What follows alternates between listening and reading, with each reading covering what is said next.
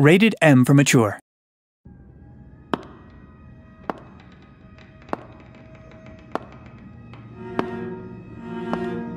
Listen to me very carefully. What I'm about to tell you is important. Every story consists of three parts. The first part is the introduction. It's when you meet the main character for the very first time. We get to see their day to day before anything happens.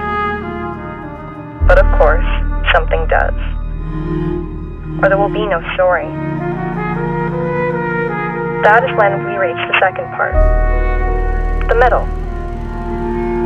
They will meet characters that will sway them like a pendulum. How our character handles that will dictate the final part. This is the part we like to call the end.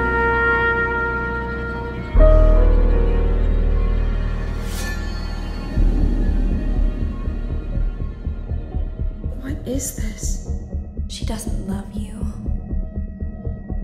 You can't run forever. You are going to die.